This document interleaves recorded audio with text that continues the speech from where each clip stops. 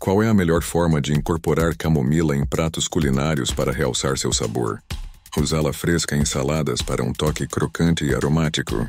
Infundi-la em líquidos quentes como leite ou água, para criar bases aromatizadas para sobremesas e bebidas. Adicioná-la inteira em sopas e guisados durante o cozimento.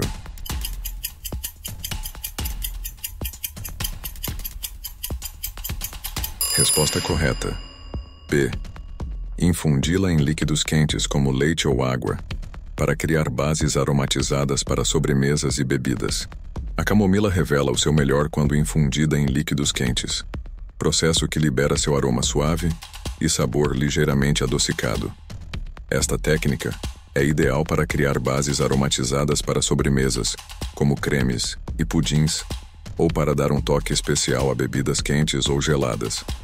Infundir camomila em leite, por exemplo, pode ser o início de uma panna cotta relaxante ou de um latte noturno para melhorar o sono.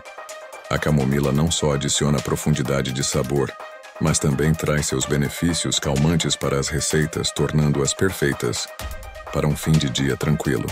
Esperamos que tenhas gostado deste quiz e aprendido algo novo sobre a camomila. Partilha o teu resultado e conta-nos. Tens alguma receita favorita com camomila? Estamos sempre à procura de novas ideias para partilhar.